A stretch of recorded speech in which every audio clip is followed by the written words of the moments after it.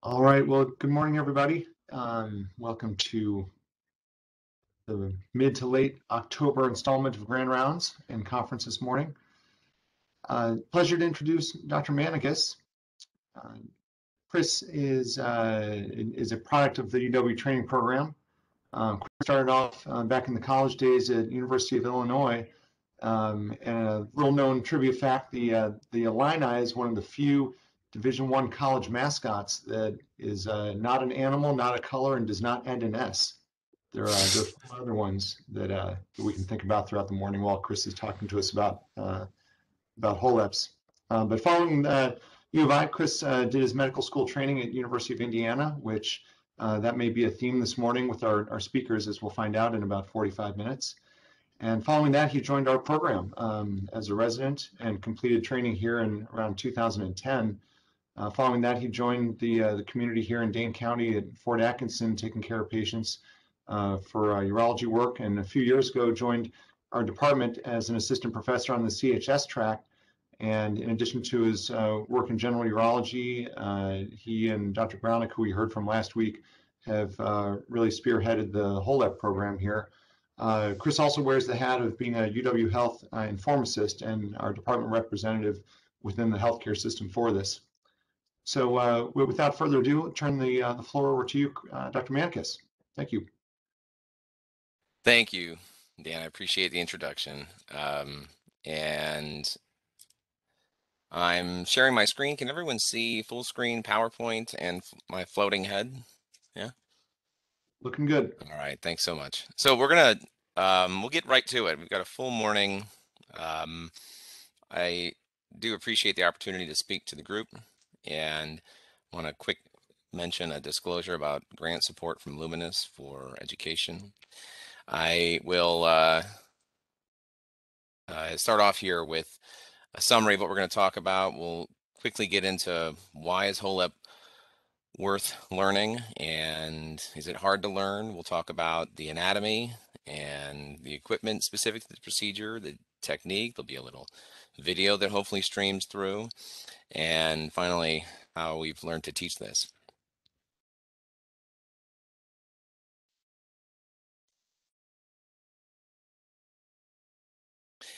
So HOLEP, holmium laser enucleation of the prostate, uh, was first described in 1998 by Fraundorfer and Gilling, a, a group out of New Zealand.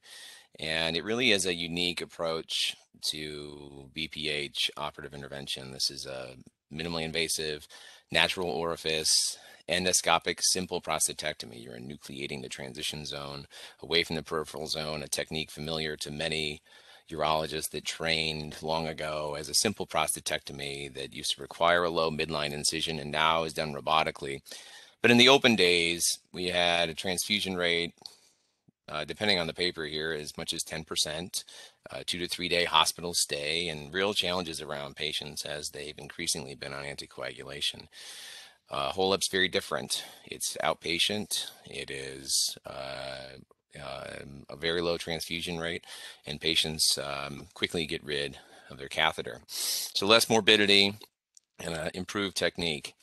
The HOLEP uh, guidelines, excuse me, the BPH guidelines just revised here in 2021 actually include HOLEP as a treatment that's appropriate for any size prostate.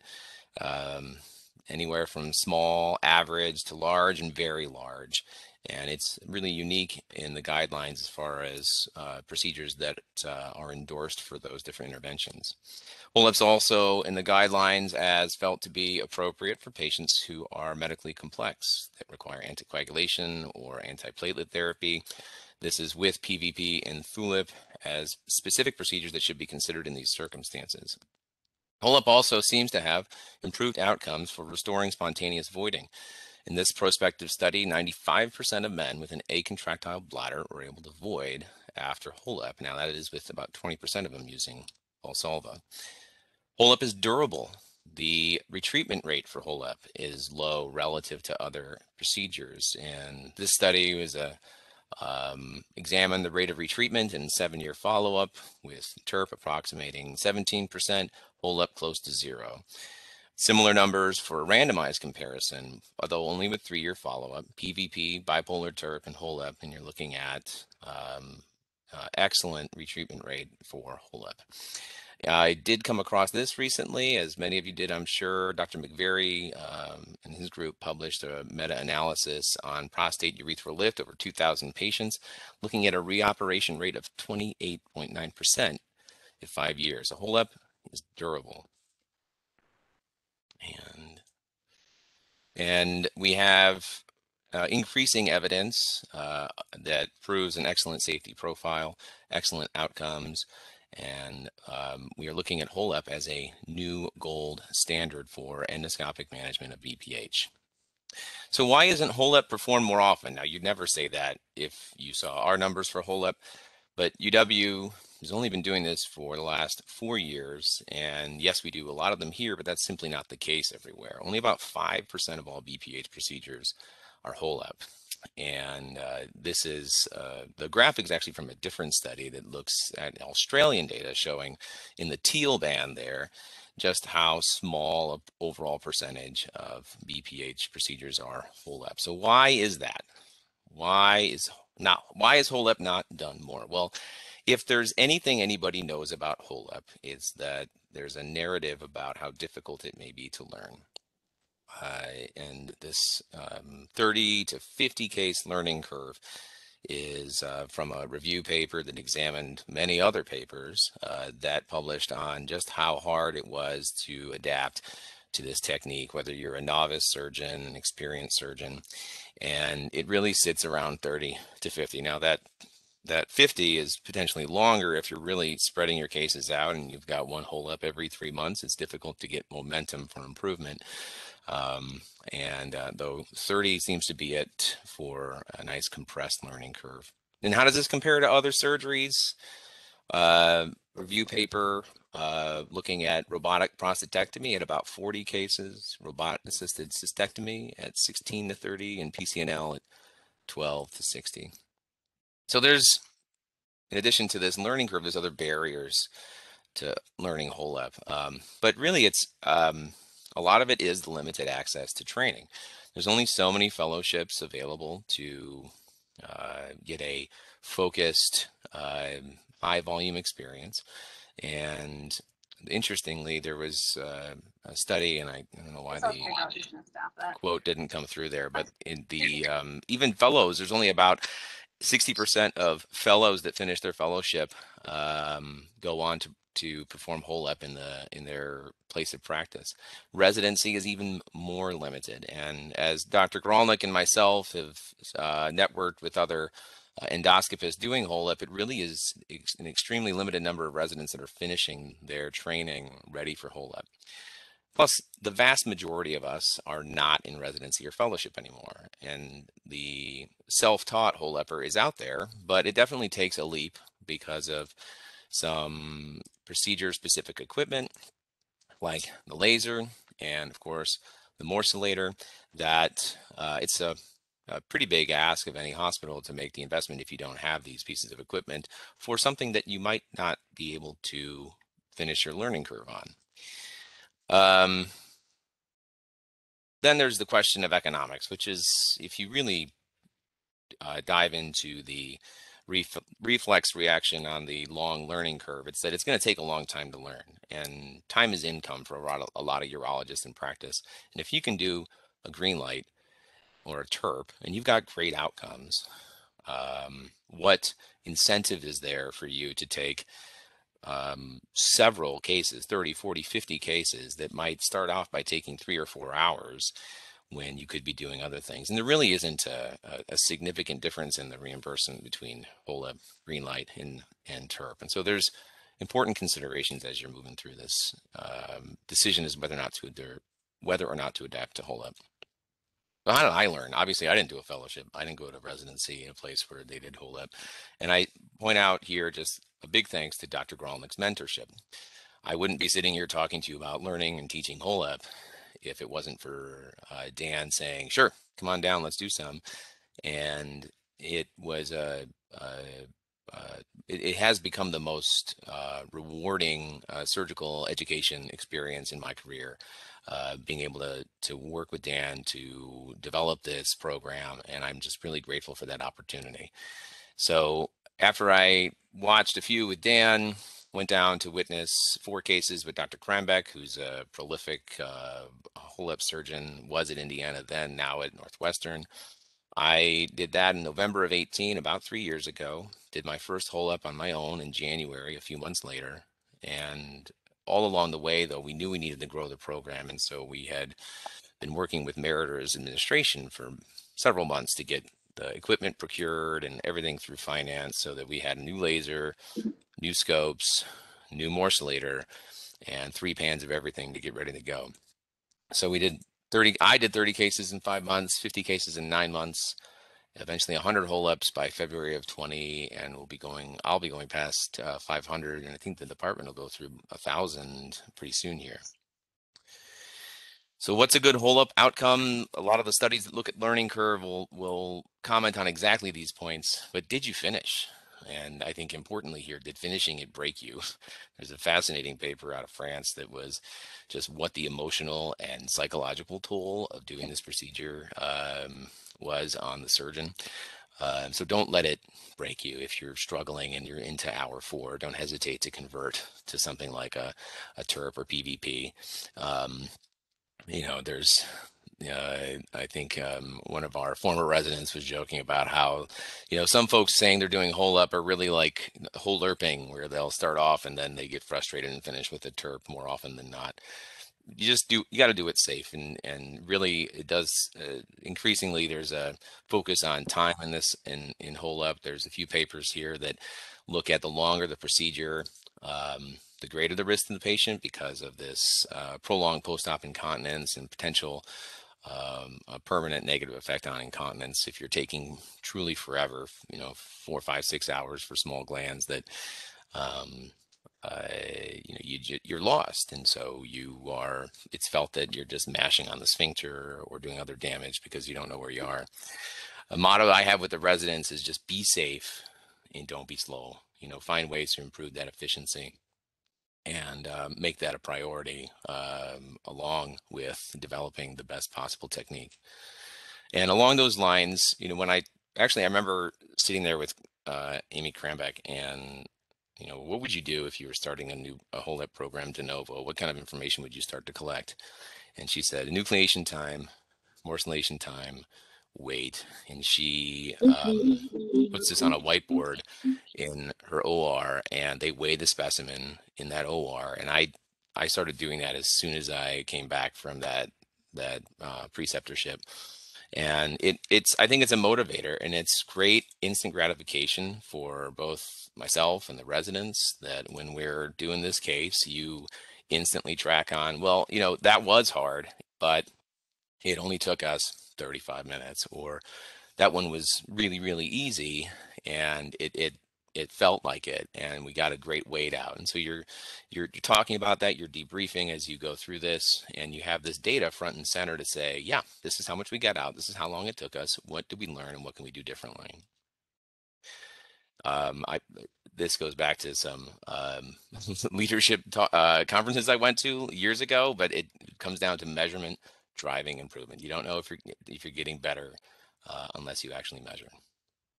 So I'd like to shift into talking about um, learning the procedure and an emphasis on anatomy. Um, it might seem silly and common sense, but quite frankly, uh, BPH imaging and anatomy um, is behind a lot of other stuff that we learned in residency. I vividly remember Moon saying uh, over my ear in the VA, like Dr. Manakas, it's a barrel-shaped organ treated as such. And I, I didn't know what that meant, uh, mostly because I didn't understand the accent uh, at times because he was pretty angry sometimes. But he he was he was right in that it was it, it was often you know fatter in the middle.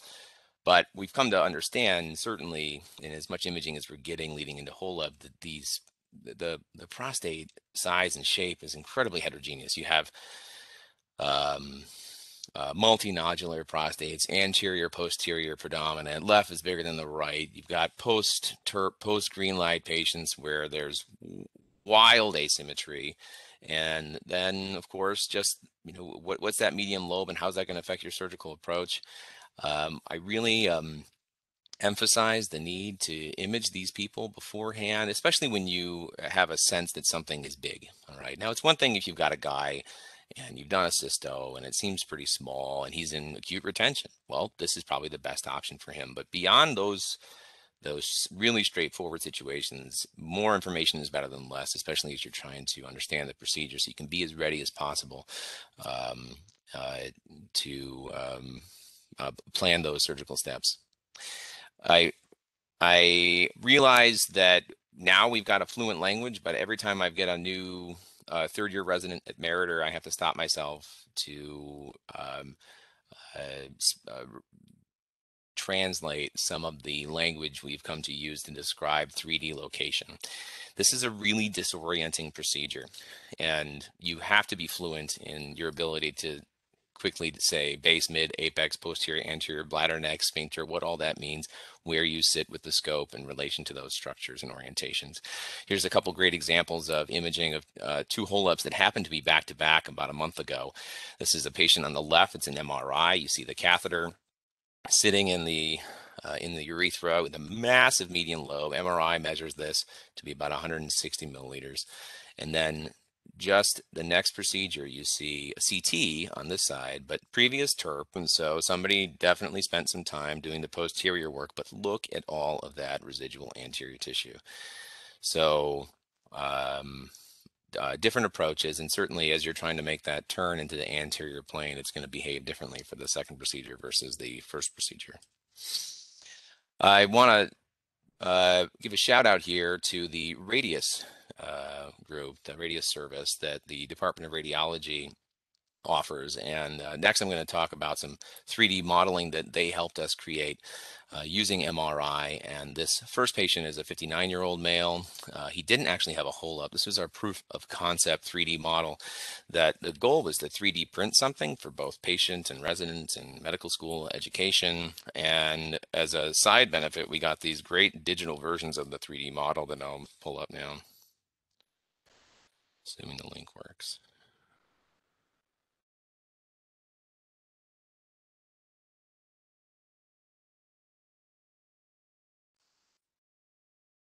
Give me just a second.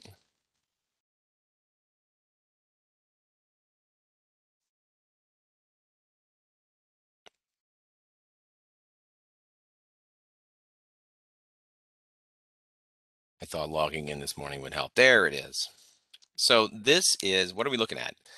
We have a, um, a movable 3D model of a prostate and the bottom of the bladder that um, we did uh, print into a plastic model that comes together like puzzle pieces. And um, the blue here is the peripheral zone, and the software does allow you to drop this out and show you that there is um, uh, a few other pieces. We can, the, the red is the anterior fibromuscular stroma. You've got the central zone posterior. This is the transition zone. You can make the bladder go away. So this is what we're nucleating away. And I want to point out here that um, even in a small gland, look at where that prostatic urethra is relative to that giant uh, predominant anterior tissue.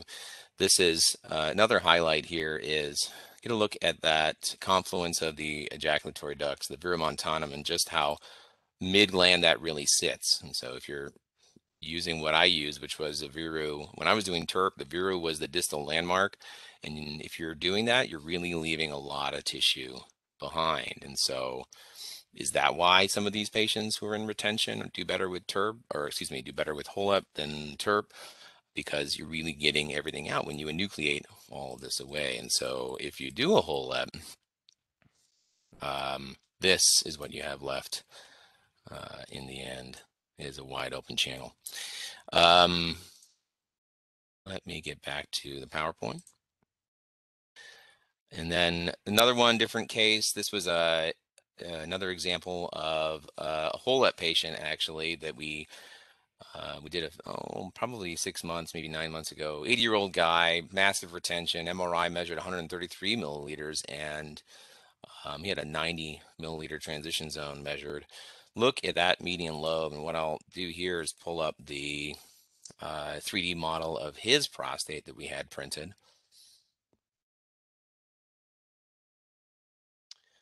I'm especially fond of the demonstration of that um, uh, of his prostatic urethra. It will drop out the peripheral zone, central zone, and the anterior fibromuscular stroma. We'll come down to now. If you were doing a TURP, and I definitely would have fallen into this category. You go through, you do that median lobe on this guy, and you are patting yourself on the back about job well done because you probably took care of his problem. But look at how much anterior tissue there, and you're you're never going to know this if you do a TRUS. Um, you're not going to know this, and honestly, who's going to trust this guy? Well, I certainly didn't include a lot of pre surgical imaging before I started doing HoLEP. And I think you don't know if you don't look. And and that's that's a big takeaway for me as we've built this HoLEP program is that imaging is a, a very helpful adjunct as you try to understand the anatomy and try to be successful with learning the procedure. One last case that um, I want to show really just because it's a monster. Uh, and those are fun. But this guy came in, he's only 55 10 years of symptoms 322 milliliter prostate 247 milliliter transition zone. We got 228 out and his model is um, again going to demonstrate that we have a massive bulk of anterior tissue. So as anybody out there that's HoLEPing just imagine kind of making that turn uh, around the uh, 9 to 10 9 to 12 9 to noon when you've got this much anterior tissue again, again, example of where the veru sits relative to the rest of the gland. If you're only gonna, well, you shouldn't really do a TURP on a 300 gram prostate, but if you're gonna only come uh, proximal to that, look how much you're leaving behind.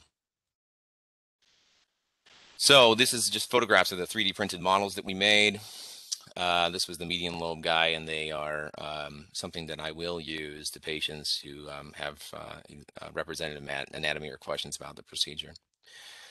Uh, moving on to the equipment, this is the back table. Uh, at Meriter, we've got a Storz continuous flow laser scope setup and uh, a Wolf Piranha Morcellator here and UW. But, you know, it's a quick uh, dilation of the meatus uh, after some Litajet. And I strongly encourage residents to spend some time as they first join at, on taking these apart and putting them back together almost like your Forrest Gump trying to take the gun apart and putting it back together because you can't do this. You, really, uh, there's three different spinning levers on these Storz scopes. And when you're rotating around the, the adenoma, um, it's not uncommon to, you know, put your hand in just the wrong place. And next thing you know, scope's falling apart. You've got fluid leaking everywhere and you wonder why you can't see. So um, it's part of the early learning curve is just the equipment. And of course the Morcellator, uh, quoting um, our chairman, it's good, it's not great. The um, uh, handpiece can fail on you. And I've just got a list here of all the things that we've got to be sure of as we are struggling. If we are struggling and it's not really if it's when something clogs up the tubing the power cable might not be collected uh, connected completely the on off switch might be partially open the o-ring might be gone no shortage of things just kind of systematically try to troubleshoot and then all else fails we can blame anesthesia technique now all right bear with me as i just jump out of the powerpoint and um, I've got a video to show you. And my I'm sitting at a super fast internet connection. My apologies if there's any issues with frame rate on your end. And I'll warn you if you are uh, in any way uh, motion sick. I had a buddy take a look at it and he uh, recommended a scopolamine patch, but uh, uh, just make the image smaller and I think everything will be better. We're going to start off um, and I'm going to narrate through about a, a 12 minute uh, version of a HoLEP. So this is for everybody out there um, get a sense of what we're really doing. I put this together with iMovie, had some fun with the soundtrack uh, coming up on. Uh, for those of the residents that have uh, been with me in the OR, I will often torture you with some Phish, and that's what we're going to do. This just to make sure you really feel like it's a complete experience. Um, so we've started, we're making our incisions lateral to the veru, referred to as an omega incision, because once you do this quick sweep, down to the capsule to expose the uh, plane that we will strive to maintain. It kind of will make an omega shape. Um, the uh, video here is sped up just a little bit so I can get whole thing in in the, in the presentation. But in a moment here, I'm going to pop in an MRI image to show you exactly where we are while we do the HoLEP. This is sagittal view. We're going to be coming up underneath the adenoma, between the adenoma and the capsule. You're going to spend some time here with the laser pointed against the specimen, moving side to side, and you get a sense that a couple highlights. I'm not stopping to dry things up here. You get close enough, and the flow gets the little bleeders away. You stay close to the specimen, close to the specimen, close to the specimen. That's what I tell the residents. As you come uh, up the back side of the adenoma, it is very, very easy to get thin. And so this is not a place where prolific, frustrated sweeping will get you anywhere. This is a purely laser dissection as you come side to side, back towards the bladder neck, but under the adenoma. Eventually, we will be switching to a six o'clock incision that will go from the bladder neck down to this space, functionally cutting the posterior adenoma in half. Here's that six o'clock, and it's going to. Um, it, it's one of the actually hardest parts to. Um, I have found hardest parts to learn for trainees they don't know how to scope the tissue response to the laser yet. They this takes a lot of at times uh, uncomfortable closeness to the tissue to really get it done efficiently. So I actually wind up having them do this last in the stepwise approach. Um, and uh, that way they get the most out of their time. It's something that we'll talk about later is that, you know, they, we, when I do these, it's two or three in a day, plus a few other cases and the residents know that they're not going to get a chance to do the whole thing every time. And so it's like you get half an hour you get 40 minutes and this is and what do you want how do you want to spend that time? And we we talk about what the day is going to be like and we make sure they get an opportunity to get some scope time in a way that is appropriate for their level of experience and training. So we're developing this posterior channel. This is something that you don't want to dig a tunnel. You want to lift off those medial edges from the posterior capsule and uh, one of the things I demonstrated here was that if you get uh, try to get too quick with your um, bottom up incision, you can actually create parallel planes and then need to connect the space. Uh, that's much more difficult in a bigger gland. Uh, this one is about a 90 milliliter prostate, um, no median lobe. Here we're going to be shifting to a, posterolateral dissection. This is coming from medial back to lateral, back to medial, side to side from 6 to 9 o'clock. Uh, uh, definitely spend plenty of time uh, lifting this off the posterior capsule. The more that this is mobilized, the more successful you are likely to be turning into the lateral uh, approach. So, speaking of the lateral approach, and see where that adenoma wants to peel. You'll see a lot of lasering and then nudging the scope to kind of show where it wants to naturally peel. I balance the sweeping with the laser because the laser is just more hemostatic. Again, I'm not stopping to cauterize as we go because uh, the sweeping is strategic. So we're getting ready to turn into the anterior plane in just a minute or two. This is one of the hardest parts to really master. You are um, constantly having to advance the scope and demonstrate where that perfect plane is to yourself uh, without getting too wide. You can see glimmers of fat there. And what I'm doing is a quick course correction to get closer to the adenoma. Force my way in there. Of course, it's a gentle force, but you gotta show yourself where that peel point is so you can stay in the perfect subcapsular plane. Eventually, you start to see things peeling, and you give little nudges, and you get into this shiny uh, anterior capsular space that is um, um, uh, a rewarding moment. And The residents know I get excited. Uh, I get excited a lot which is a lot of the time, especially here When they get up there on top of the anterior it's, that's the hardest thing. They can do it. Now, it takes a little time to get. They, um, so we're just coming around the top. This is uh, uh, one of the things I forgot to mention on the 3D modeling that we did is you saw that peripheral zone, you saw the big lands. that uh, the peripheral zone didn't seem to extend much beyond mid gland towards the bladder neck. Um, you need to uh, keep that in mind as you're trying to turn because it's the thinnest part of the capsule there between mid gland and bladder neck. What we did just there was pump, uh, uh push into the bladder uh, punching through at 12 o'clock is kind of what that's referred to. Really disorienting when you do that. You see black, and you're like, oh no, am I supposed to see black? No. In other, in every other endoscopic situation, if you see a big dark place, it's very scary. Not here. That's a rewarding moment when uh, I encourage you to just make sure, hey, where are those ureteral orifices relative to where we're dissecting this off? And we're going to take a moment there here to um, just confirm that the UOs are falling away because as you come through uh, anteriorly, you can actually be really, really close to the trigone. And uh, I like to mark the UOs, and the residents sometimes think I get too close to them. Um, we're coming around. This is a great jam, by the way. I hope you're enjoying this. Um, 7 o'clock in the morning. Uh, Phish from Halloween in 1995. Actually, my first show coming up on my Phish anniversary. I don't know if Williams is still listening. So we come up to the top and got to 12 to 3 o'clock to thin out this anterior apex. This is going to help you uh, with your 12 o'clock dissection that uh, is necessary, and if you're going to flip it, uh, this particular developing the anterior space makes it so that there is as little tissue at the mid gland and apex as possible.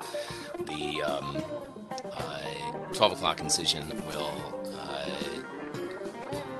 get you a chance to cut it in half. And, uh, you know, there's talk about en bloc or not. And the I found that if you try to keep this intact and on uh, for the entire enucleation, that it just is too disorienting for the learners. And I honestly don't know what the upside is. I mean, besides saying you can do it, I've done it several times, and I, I don't know that it helps any time. Depends on the size of the gland. Median lobe is just impossible to keep en bloc. Here we're we're um, uh, finishing that anterior uh, 12 o'clock dissection. We've released the apex. Spinning around, making everybody nauseated on the video, and uh, eventually we'll be finished with that anterior apex release. We're going to flip the adenoma into the bladder. We are now. This is really confusing when you first do it um, as a as a learner, but that's our medial edge. We're coming back to the lateral edge. You're going to go back and forth. And one of the things we started doing, and um, it's basically named after whatever resident I'm working with. Right now, it's the Krieger maneuver. The Krieger maneuver is to get in and bluntly sweep uh, from lateral to medial, medial to lateral, and show that there is a uh, very little stock left on that adenoma. So we've we've got um, only about 12 minutes left. So I'm going to skip ahead from some of the uh, left side release and move on towards uh, morcellating. But uh, this is the finishing up the second side. And as we get to morcellating,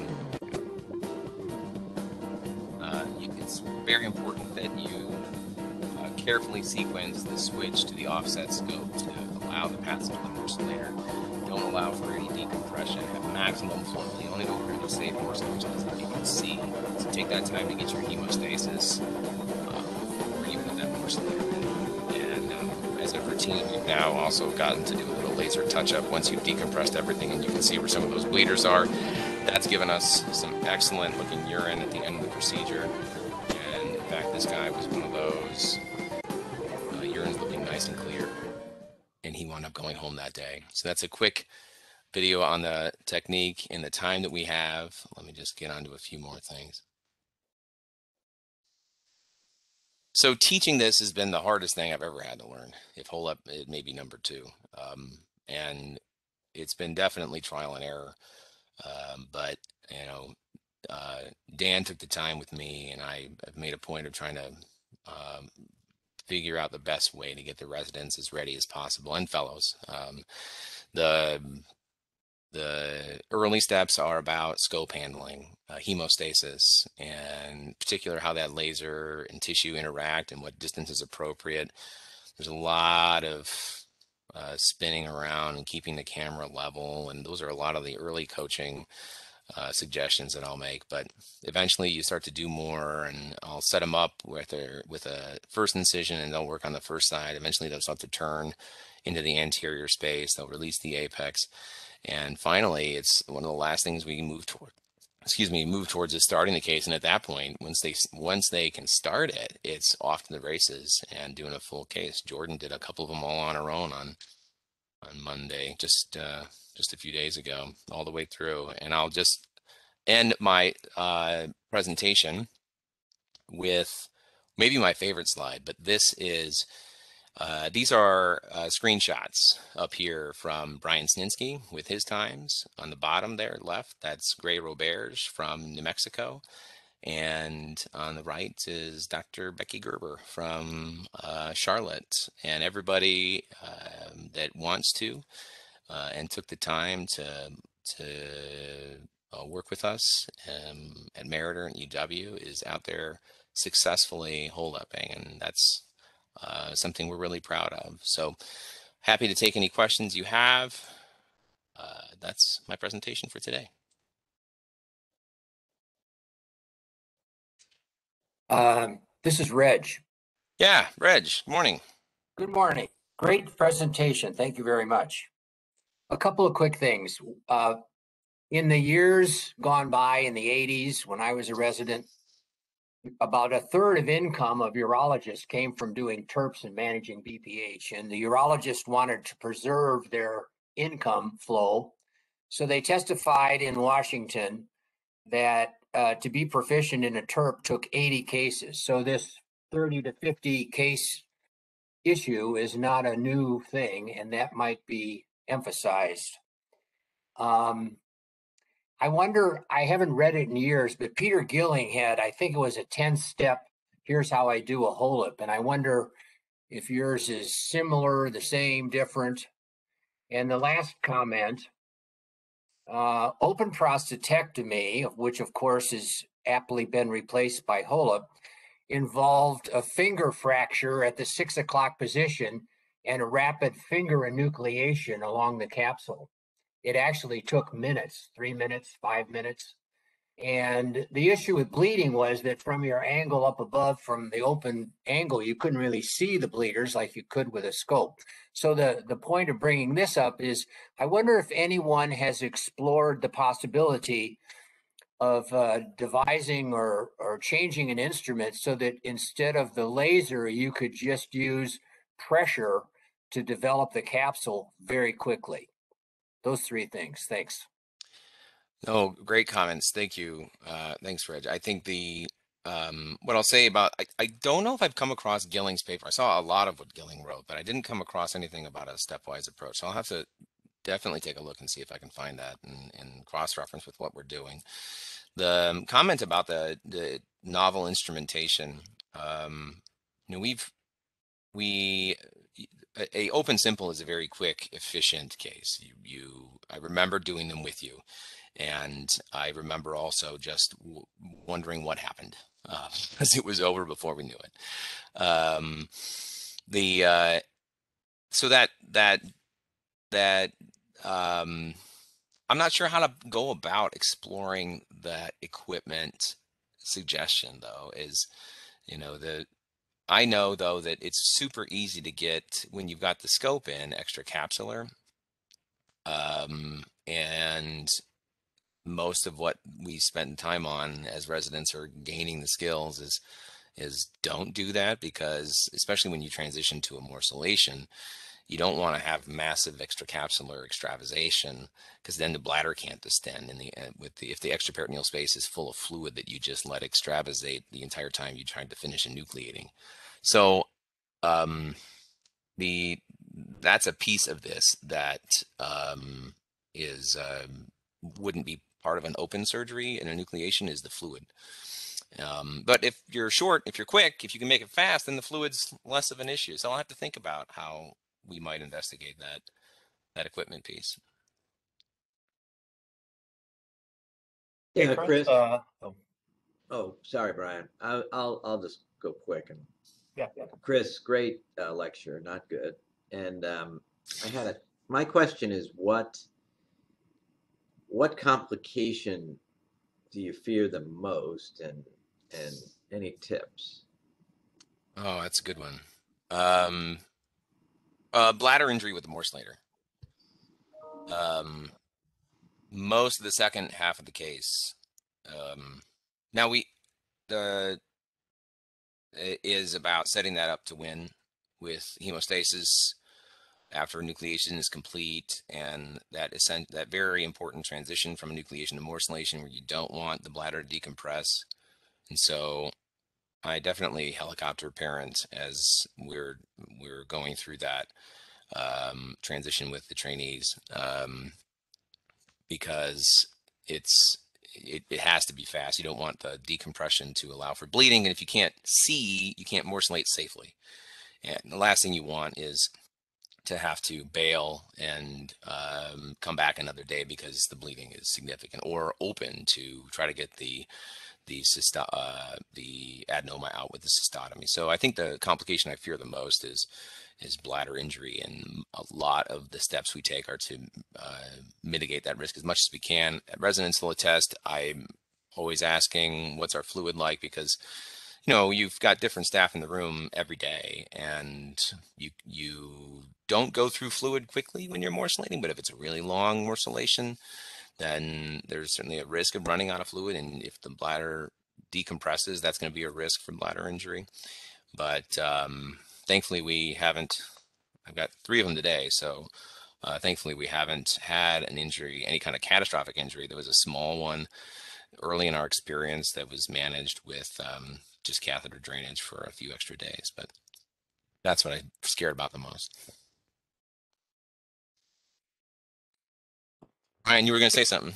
Uh, yeah. Hey, Chris. Uh, yeah, great, great presentation. Um, I guess uh, mine is maybe a little co- a combination of both Steve Nakata's comment and uh, Reg Bruskewitz. But uh, so with the places that have both HOLEP and aquablation. So this is so to the residents, aquablation is the uh, robotic uh, use of high pressure water to um, you know treat the prostate. Uh, they tend to find that they tend to do more aquablation, and I don't know if it's to recoup the cost of investing in that robot, but you know, it, it overcomes many of the hurdles that you described, right? So finding that you know that because the HoLEP essentially you're using the laser to develop that plane, but what actually treats the tissue, what actually is eliminating the tissue is the morcellator, right? I mean, you're just pushing the prostate in, and with the you know aquablation you basically just draw on an image the you know the plane that you want you know between i mean you have live transrectal ultrasound you've been mentioned you know optimize you know uh, use of imaging you basically mark where you want the tissue removed and then it just does it in four minutes you know is that you know if you compare these head to head is that the future where basically anybody you know could be doing it without um, you know, without needing. And the reason why I said it, integrates Nakata's comments is one of the deficiencies of it is it doesn't treat anterior tissue. It only treats posterior tissue. So if that anterior tissue is critical, that could be a huge uh, advantage of HoLEP. So uh, great. No, I'm really glad you brought up aquablation um, because it's really attractive to a lot of urologists, especially when you compare its ability to do medium and large glands and early data.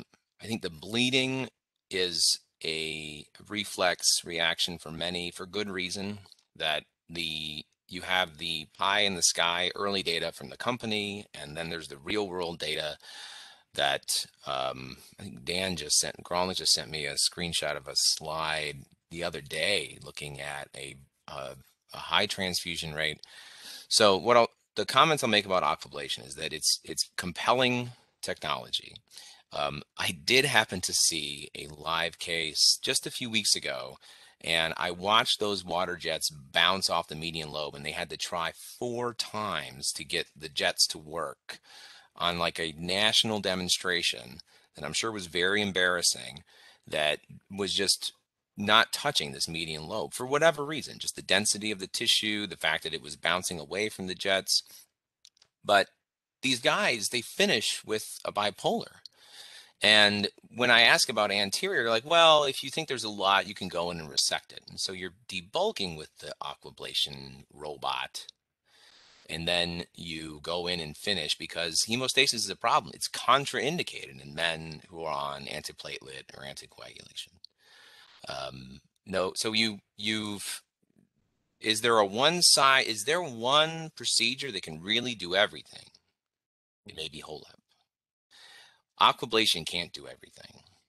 And I'm yet to find that HoLEPer that is is actually now there's it, there's there's a group in Canada. This guy does a little bit of everything, and he's publishing on aquablation and comparing it to HoLEP and other techniques. And there's always going to be people that will say those things, but I I don't know. I I don't have a compelling reason to try aquablation because we can do HoLEP. Mm-hmm.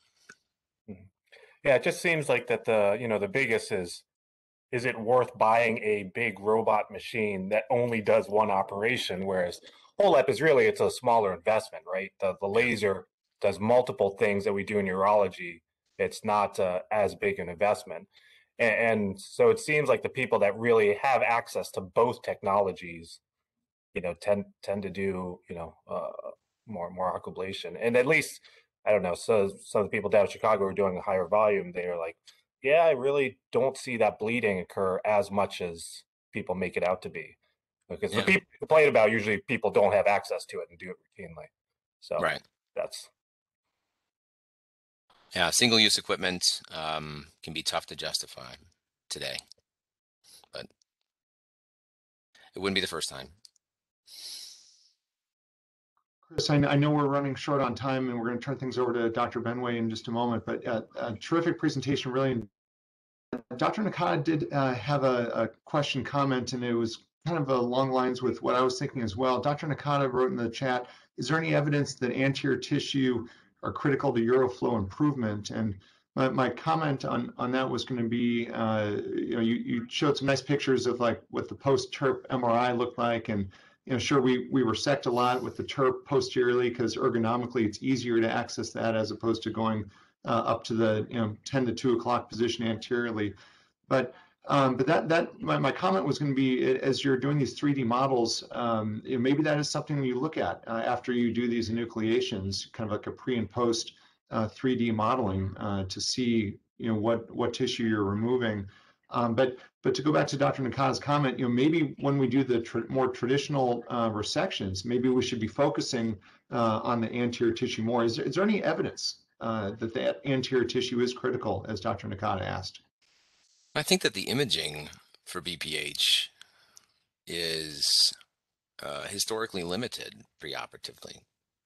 Um, so I can't speak to um, off the top of my head, off top of my head, available data about relationship of anterior to objective uroflow improvement, but it is. Um, uh, I'd, I'd have to think about how you you begin to design that that study. Um, what we see though is superior uh, durability and superior uh, restoration of spontaneous voiding. And we know that the unique approach to HoLEP gets it all out. And that's um, an inference that many of us HoLEPers make, but um, the data has to be borne out.